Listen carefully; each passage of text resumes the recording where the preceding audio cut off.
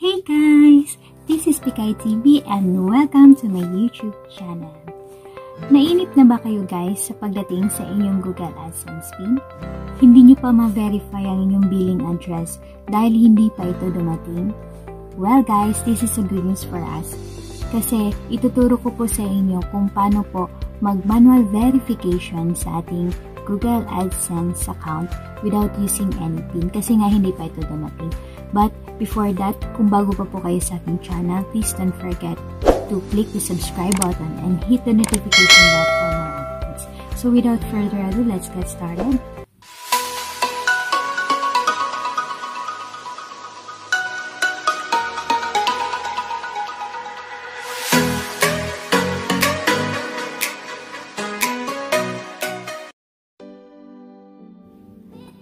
What's up mga kaki guys? And so this is Pikay TV again. So guys, pag-uusapan po natin muna kung paano po makukuha ang ating Google AdSense PIN. So first thing guys is kailangan po is monetize channel po kayo. So kailangan natin ma-reach ang requirement ni YouTube kung paano po magiging monetize channel. So that's uh, kailangan natin makuha yung 1,000 subscribers and 4,000 public watch hours para po maka-apply tayo for monetization. So second guys, kailangan natin ma-reach ang tinatawag nating threshold na $10. Ayan, so automatically guys, magpapadala po ang Google AdSense ng PIN doon po sa address na provide natin during the application.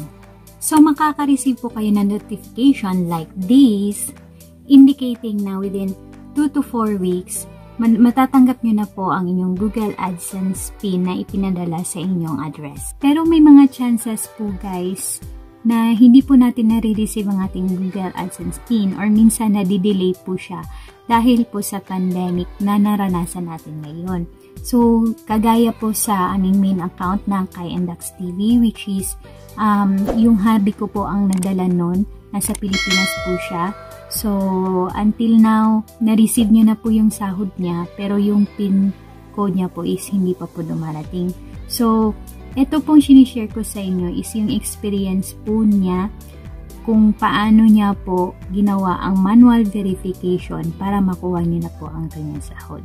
So ngayon guys, ipapakita ko po sa inyo kung paano po mag-request ng PIN kasi nga guys, hindi po tayo makaproceed sa manual verification unless hindi po tayo nakakapag-request ng ating PIN 3 times. So, uh, sa next video is makikita nyo kung paano po mag-request ng PIN kasi mostly ito din po ang tinatanong ng mga kaibigan natin dyan kung paano po ba mag-request ng PIN. So, let's watch this.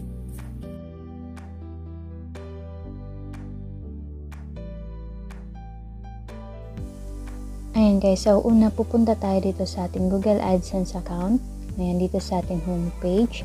Sa baba niyan guys, makikita nyo itong uh, to do. So, i-close up muna natin. First thing is, i-click natin itong verify. After nyan, ito ang lalabas. So, i so i-click lang po natin itong resend pin. So, tatandaan natin guys, makiklik lang natin itong resend pin after 1 month dun sa date kung kailan kayo pinadalahan ng PIN. Ayan, so uulit-ulitin lang natin tong steps na to 3 times guys. Pero ang interval po is 4 weeks or isang buwan. Hindi po natin magkaklik yung resend PIN kung hindi po tayo umabot ng 1 month sa pag-request ulit nito. So, yun lang po lagi natin tatandaan guys. Kailangan po muna tayong makapag-request ng tatlong beses sa ating PIN bago tayo makapag-proceed sa ating manual verification. So, I guess, uh, yun lang po ang kailangan natin gawin. So, wag na nating patagalin. Let's proceed to our proper tutorial regarding sa ating manual verification. So, let's watch this.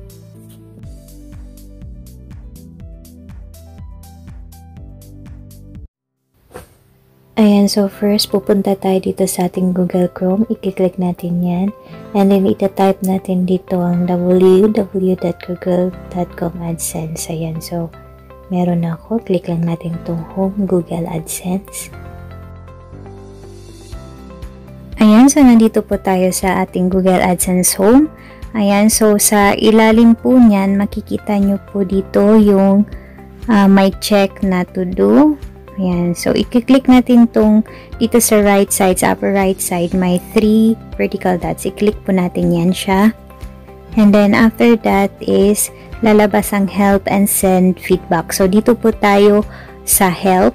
Ayan, click natin yung help. And then after that, After that, ito po yung lalabas. Ayan, so isuscroll down lang po natin yan sa baba. Makikita nyo po yung pin troubleshooter. Ayan, so i-click natin yan.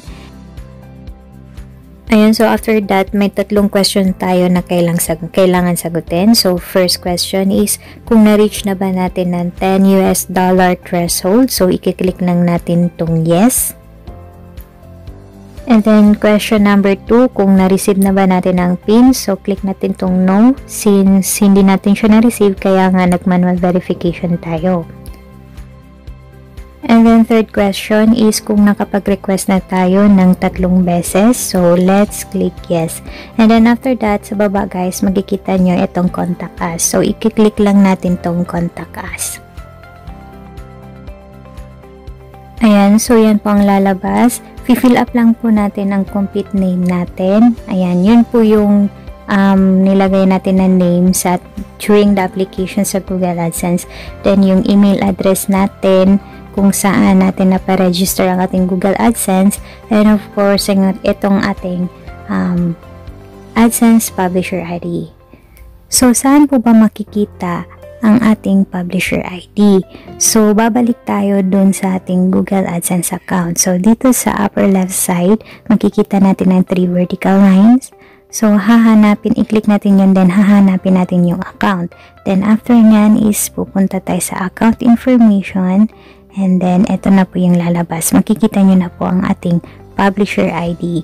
Ika-copy-paste lang po natin itong publisher ID na number dun sa box na kailangan nating fill upan.